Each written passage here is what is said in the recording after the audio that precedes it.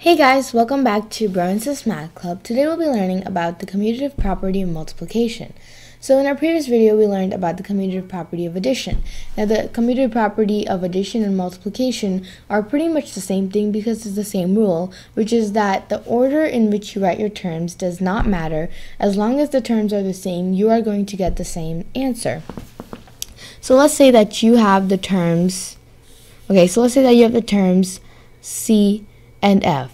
Now there is different ways that you can write this when it comes to multiplication. You can write c times f. You can write c dot f, which also represents multiplication.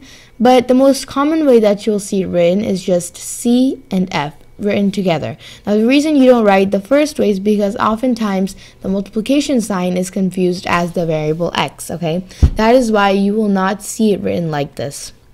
And you can put c dot f, but it just makes it longer. So that's why just simply cf means you're multiplying the term c by f. Okay, you're multiplying the two variables together. So now the commutative property, once again, it says that it doesn't matter which order we write it in. So I can write cf, or I can also write fc. It doesn't matter because either way I'm still multiplying c by f or I'm multiplying f by c.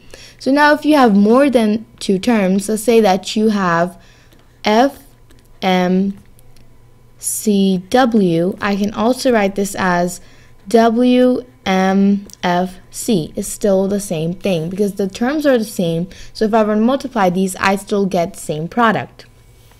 So now what if we have actual numbers? So let's say that we have 4. Now in this case, you can't just put the, all the numbers together. That was just for the variable. So if I were to write 4 times 2, I can't just put them together because then it looked like 42. In this case, we do have to put a multiplication sign or a dot, so I'll use a dot.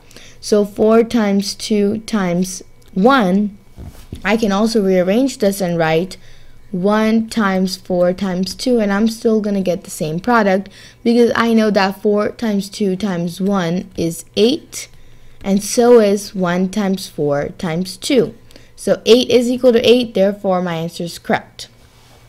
So as you can see, the only thing about the commutative property of multiplication and addition is that as long as the terms are the same, it doesn't matter which way you're rearranging it, like doesn't matter which way you're putting the terms, whether it's the variable or the actual number, you're still going to get the same answer.